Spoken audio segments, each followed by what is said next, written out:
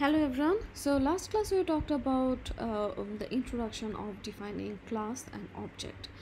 So here we are going to see a couple of example how we can do data processing with class. So last class we saw one example of uh, we saw one example of multi-sided dice means we can uh, create a class of dice all right where the number of side can be any number it doesn't have to be number 6 it can be any number okay? Then we talked about an another example where, where we can create a class definition for student. Okay? So a group of information like this is uh, known as record. And uh, so we uh, we are going to try to do a simple data processing example with those set of record. Okay? So a typical university measures the uh, grading by using uh, credit hours and total quality points okay? And everything will be in the file all right? So we are going to use that file. Uh, the file will look like that and uh, each line will have the student name credit hours and quality points okay? And we're going to find the uh, we're going to find the GPA by dividing the quality points with the credit hours for each student okay? So uh, what is our uh, job? Here we are going to write a program that will read the file to find the student with the best GPA and print out their name okay? Print out their name credit hours and GPA now what is going to be the start to place? Now as we are familiar as we are being familiar with object oriented programming okay? So um, uh, here actually we are going to represent a represent a student okay? We are going to represent a student with a uh, with a class definition. Because now when we are talking about a student a student is uh, also a complex type where each student is associated with multiple attribute all right or multiple feature. So each student have a name okay? Each student has a name uh, he has a credit hours and he has total quality points. And also we can do multiple tasks with the student okay? Because uh, what we can do with the student uh, we are going to find calculate the GPA okay. We can calculate the GPA and we can calculate the pre information of a student. So if we want to know the name uh, quality points and each of the different information of student we can also do that. So what actually we are going to do first we are going to group all the information together. We are going to make a factory that that factory is going to uh, deliver us each of the student object. And that factory we can create using a class definition. Okay so then we can use the student object to store all of these different information as an instance variable. Each uh, student is going to contain different information of each student. So here how we are going to do okay? So in this class we are going to see an example. Uh, actually we are going to see an example by writing code how we are going to define class okay so to define a class first job is to we have to figure out what will be the information of each student okay? What information we want to store for each student. So if we look at the file um, if we look at the file that we're going to do the data processing with uh, here each line contains the information of student and here what we have we have here that is the name of student credit hours okay and that's the quality point okay? So at least if we uh, if we create a student object each student must have these three information okay? And using this three information we are going to write a definition of class all right now what we are saying each student okay? So that's a student each student will have name credit hours all right and quality points.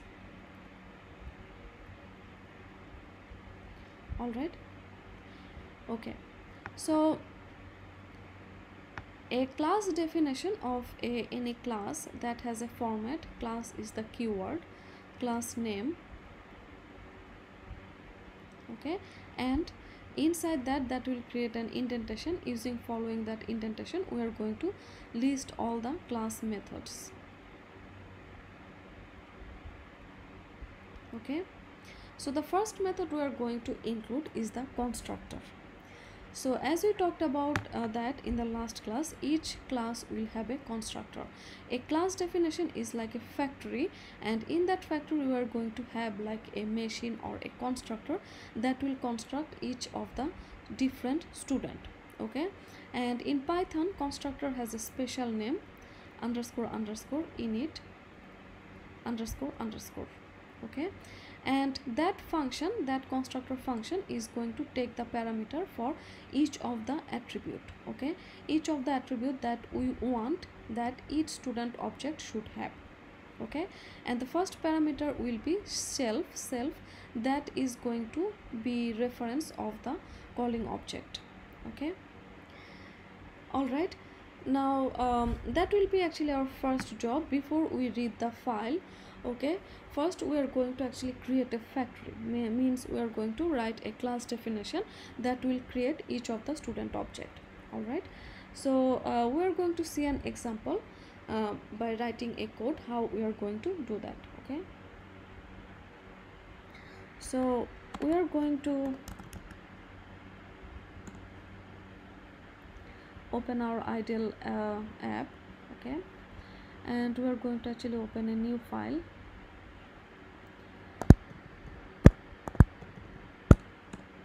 Alright and let's save that.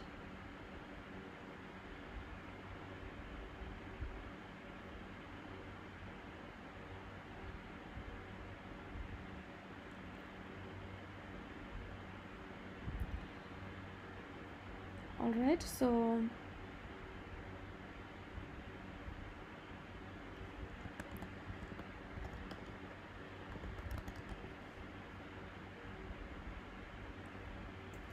so first we are going to make a create a class definition. And we are going to do the class definition. We are going to create the class definition before we write our main function okay? So the class the, uh, the class should be accessible. Uh, I mean uh, we are going to create the class definition before we write our main function. That's very important. That's not we are going to do anything inside the main function okay? So first we are going to write a class definition. So first we are going to use that keyword class okay then the name of the class. So here we are going to use the name of the class student. So the name of the class there is a convention that we follow to choose the name of the class. The first letter should be the capital letter okay? So that's just a convention okay? Uh, it is not going to make any complaint if you choose a class with a small letter okay but that's a convention because we are going to use that uh, name of the class to create uh, create other variable student object. Okay so that means this is going to use this is this is going to be used as a new class type user defined type. All right? So that's why we are going to choose the name. We are going to pick the first letter as a capital letter. Okay? So class class name okay? Then following the indentation we are going to list of the class method. So the first method we are going to have the constructor. Okay?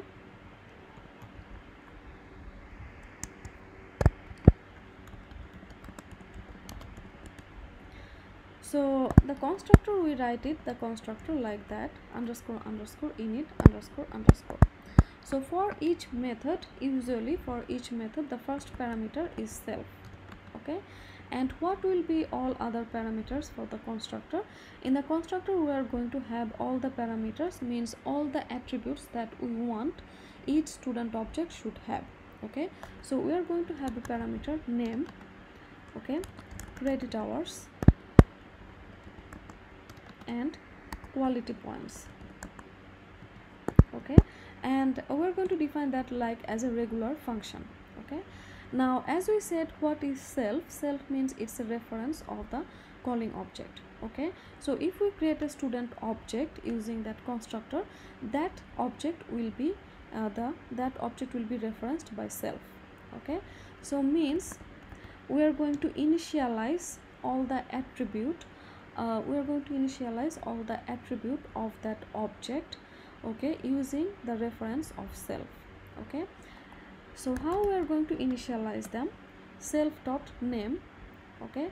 So this name is actually the attribute of the student class. Okay. And i'm going to use this parameter to initialize this attribute.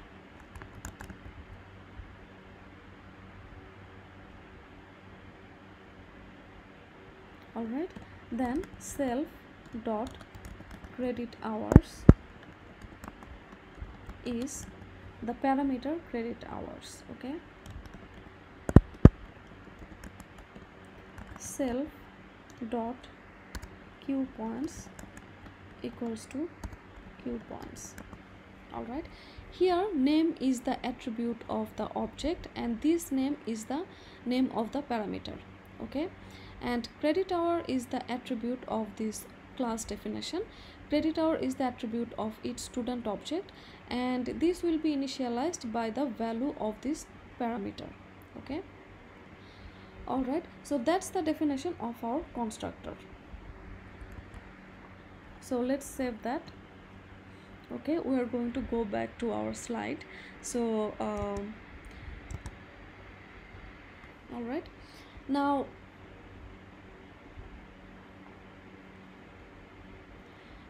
uh,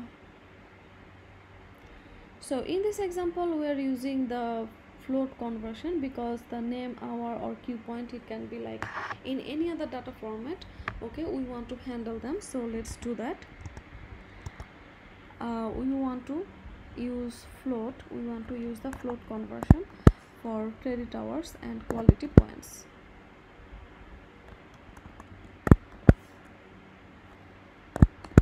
okay? So that means actually our factory is ready and our constructor is ready.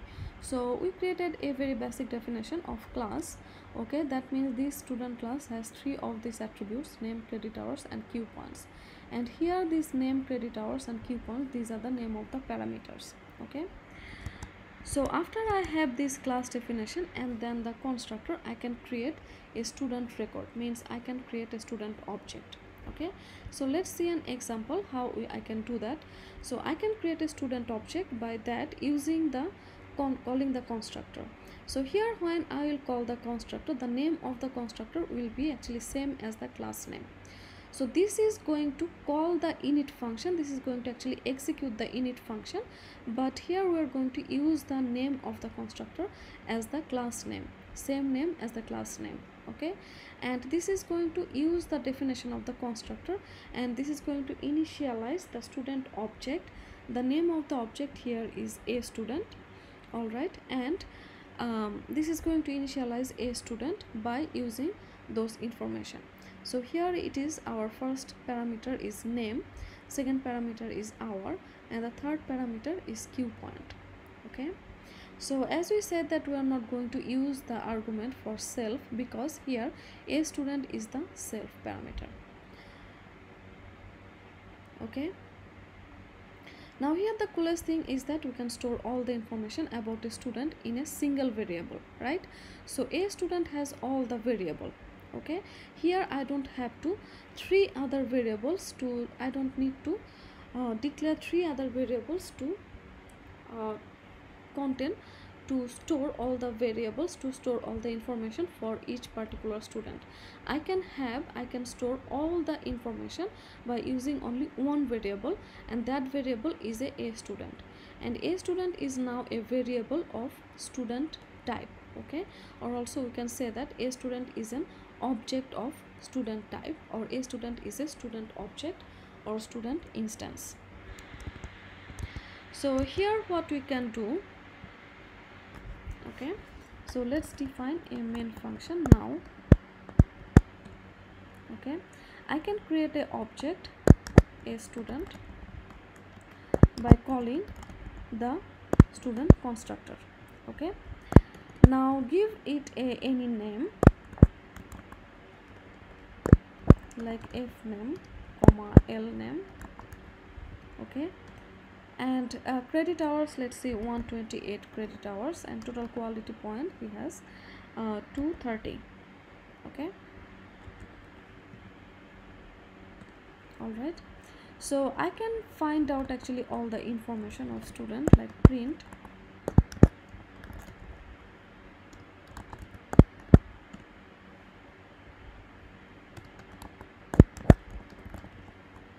Dot uh, credit hours.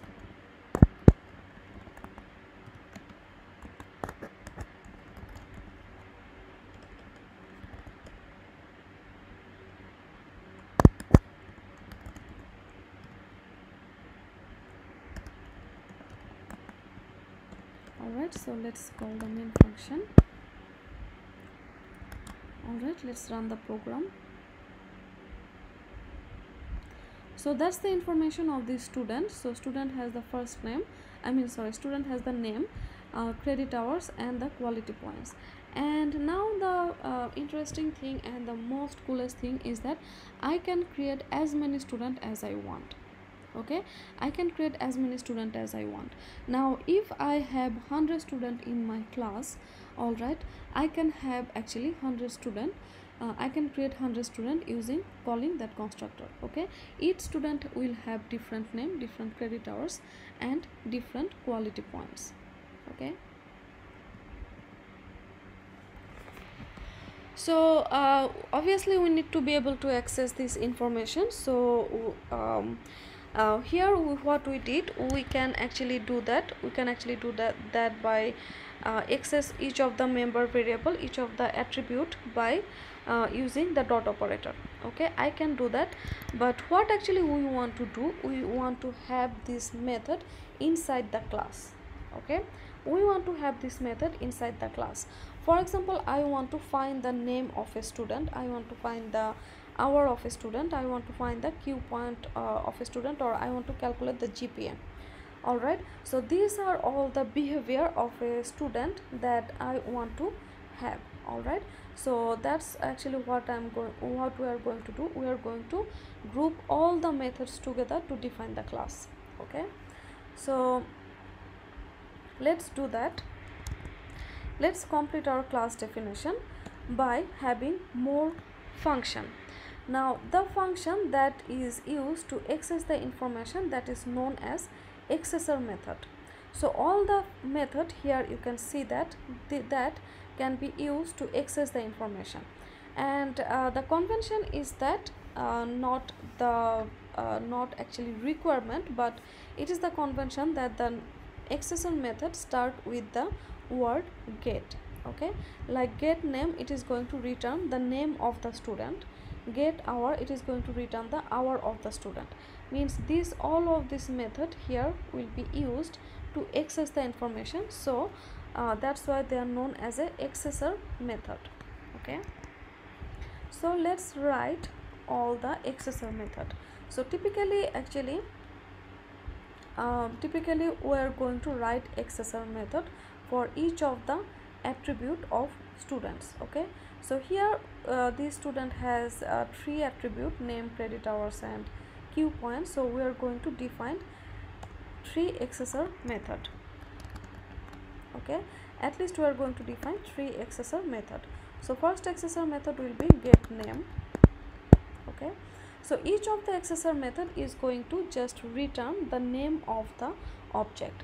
So the first parameter uh, uh, and the only parameter we are going to have self.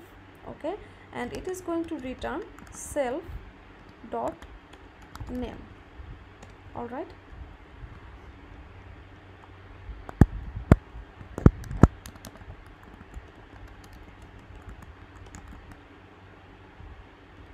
so the second accessor method we are going to have get uh, credit hours. We need only one parameter. So it is going to return self dot credit hours. The third accessor method we want to return q points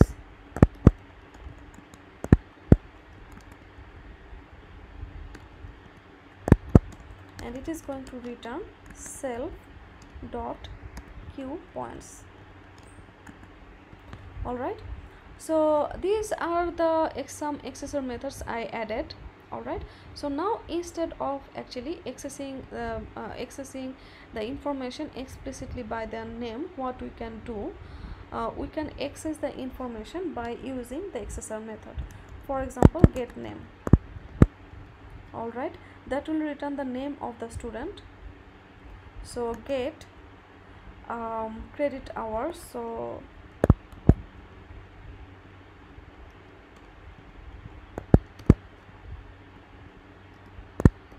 okay. So i'll talk about that why it is the best behavior to access the information by accessor method instead of just the variable name okay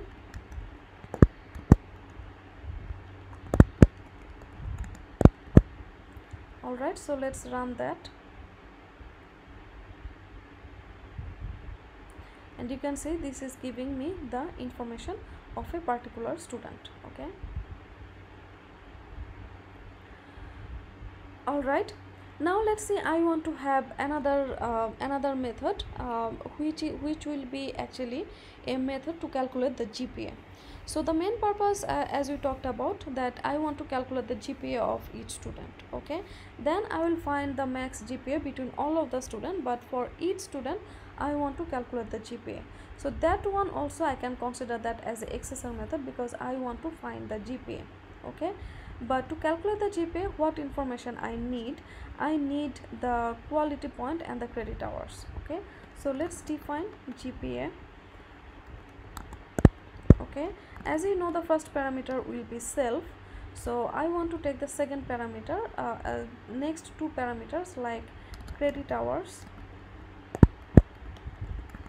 and quality points. Okay?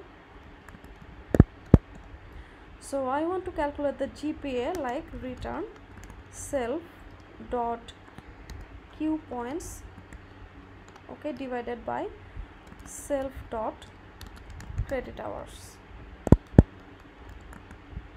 All right that's it. So this is going to make the calculation. This is going to divide quality points with the credit hours okay?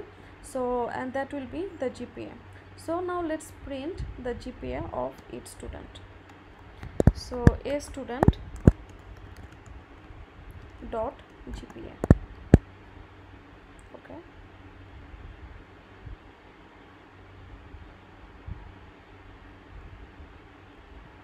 uh, sorry what I did. Um, okay. So here actually I don't need any parameters okay? I'm going to use them but I don't need them as a parameter okay? So um, because the reason is that the student the class student has the information of the name uh, the credit hours and the quality points and he is going to use that and he is going to return he is going to calculate the GPA okay so in the definition of GPA I don't have to send them as a parameter. I'm going to send only the self only the reference of the object. Okay so now let's run that.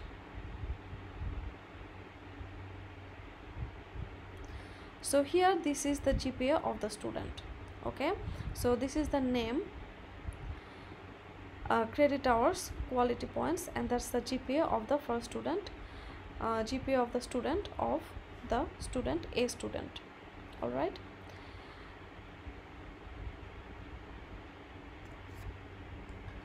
So how can we use those tools to find the student with the best GPA so now uh, that is our basic class definition. In this class definition we had um, here we had actually uh, the constructor the accessor method okay? Now using that uh, class definition we can create as many student as we uh, want okay? If i have 100 student i can create 100 student. Now let's see all the information we have in the file. So what actually we are going to do? We are going to read the file okay the file can have like five student information five lines or 100 lines. Based on the number of lines i am going to create i'm going to read each of the lines okay? And then i am going to uh, create object for each of the line because each of the line contains the student information okay? All right so so in the main function first in the main function what actually i am going to do? I'm going to read the file okay? So read the file then um, for each line i am going to for each line i am going to make a student okay? For each line i am going to make a student okay? Now these two line is calculating the best gpa among all of the student all right so initially we are going to uh, we are going to assume that the uh, we are going to assume that the first student has the best score okay? Then we are going to uh, compare all other students gpa okay? Uh, we are going to uh, compare all other student gpa with the best score. And if the student has the best score then this current best score we are going to make that score as a best score okay? We saw one of those example in one of our classes how to find like maximum number out of n numbers okay? So this is the idea we are going to follow here all right so then we are going to close the file and we are going to sorry and we are going to print the information print uh, especially the name hour and gpa for that student for that particular student okay